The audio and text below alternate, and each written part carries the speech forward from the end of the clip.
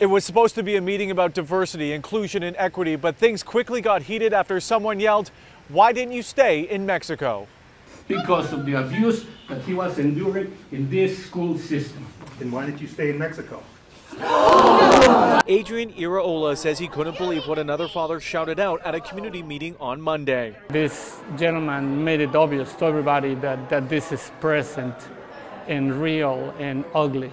We did try to get in contact with the other man, but had no luck. Iraola said since the outburst, customers have come to his restaurant Cella's showing their support. He says what happened during that meeting Monday is another learning experience and an example of what needs to end. It's not too late to help others. It's not too late to remedy the situation and, and help people understand that more needs to be done so that children that are in the school system today and those that may be coming tomorrow don't have to, to endure this type of emotional abuse.